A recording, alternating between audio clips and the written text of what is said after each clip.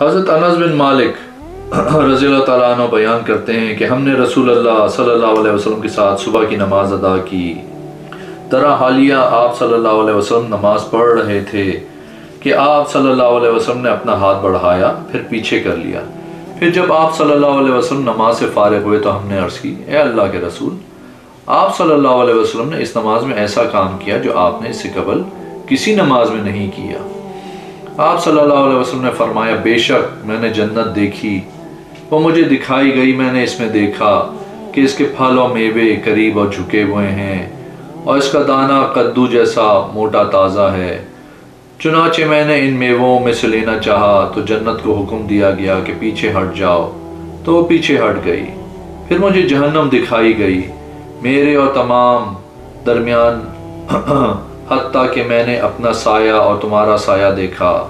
मैंने तुम्हारी तरफ़ इशारा किया कि पीछे हो जाओ।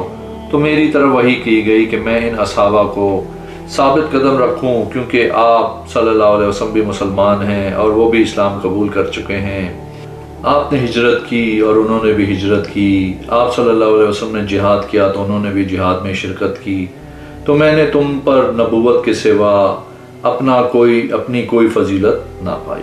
इमाम अबू बकर रहमत फरमाते हैं, मैं हज़रत सहल बिन साद रज़ी तु की नबी अकरम सल्लल्लाहु अलैहि से ये हदीस लिखवा चुका हूँ कि तुम्हें नमाज़ में कोई चीज़ दरपेश हो तो मर्दों को सुबहानल्ला कहना चाहिए और औरतों को ताली बजाना चाहिए।